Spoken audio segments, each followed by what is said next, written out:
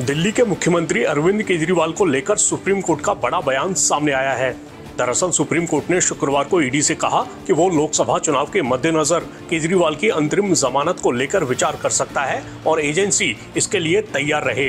केजरीवाल को 21 मार्च को आबकारी नीति से जुड़े मामले में गिरफ़्तार किया गया था। सुप्रीम कोर्ट ने ईडी से कहा कि गिरफ्तारी के खिलाफ केजरीवाल की याचिका पर सुनवाई में समय लगने की संभावना है और इसलिए अदालत उन्हें अंतरिम जमानत देने पर जाँच एजेंसी का पक्ष सुनने पर विचार कर रही है।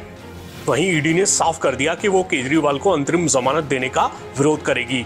ईडी ने आम आदमी पार्टी के नेता संजय सिंह को जमानत मिलने के बाद उनके बयानों की ओर इशारा किया और कहा देखिए वो किस तरह के बयान दे रहे हैं। वहीं सुप्रीम कोर्ट ने कहा कि वो एजेंसी को अपनी मंशा के बारे में बता रहा है, ताकि 7 मई को जब अंतरिम जमानत का मुद्दा आए तो वो चौंक न जाए। कोर्ट ने कहा, हम सिर्फ़ कह रहे हैं कि हम अंतरिम जमानत पर सुनवाई करना चाहेंगे, और ये नहीं कह रहे कि हम अंतरिम जमानत दे ही देंगे। हम अंतरिम जमानत दे भी सकते हैं और नहीं भी दे सकते।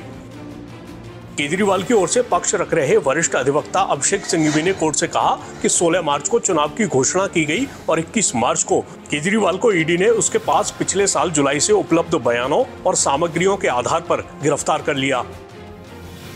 कोर्ट ने सिंघवी से पूछा कि दिल्ली में चुनाव कब होने हैं, जिस पर वरिष्ठ अधिवक्ता ने जवाब दिया कि राष्ट्रीय राजधानी में 23 मई को प्रचार थम जाएगा और 25 मई को मतदान होगा।